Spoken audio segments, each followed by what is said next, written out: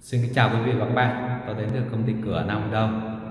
Hôm nay tôi sẽ giới thiệu đến quý vị và các bạn mẫu cửa sổ lùa hai cánh được sản xuất từ Profile Sinfa nhập khẩu hệ 55 màu xám ghi à, sử dụng phụ kiện hãng Draho và kết hợp với kính trắng 8 ly cường lực.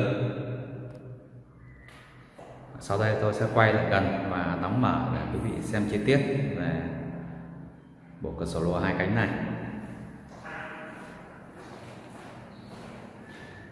Bộ cửa sổ lùa này thì à, chúng tôi sẽ dùng à, bốn cái bánh xe đơn và một cái khóa mãn nguyệt.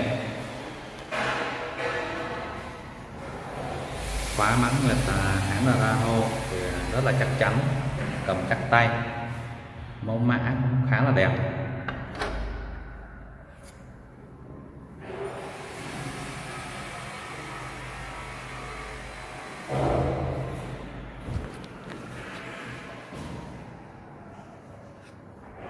Sau đây à, tôi sẽ quay mặt ngoài để quý vị thấy màu sắc của sản phẩm.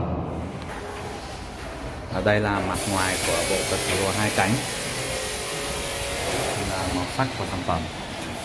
Màu xám ghi hay là màu xám đồng chuột, xám cho.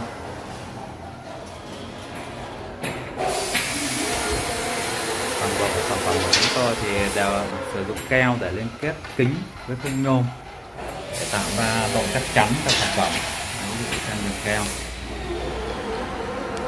kính một thành ngô được sản xuất trên dây chuyền máy móc đầy đủ. Như có ở cặp lỗ thoát nước. Để đảm bảo tính thẩm mỹ cũng như độ thoát nước tốt so với làm bằng thủ công như là pha bằng tay.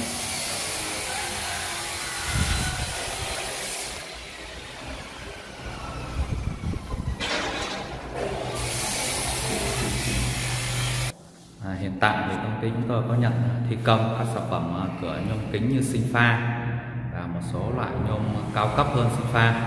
Nếu quý vị đang xây nhà có nhu cầu làm cửa cần à, báo giá chi tiết à, xin vui lòng liên hệ đến hotline 0933 62 60 60 hoặc truy cập vào website cửa nhựa nam com.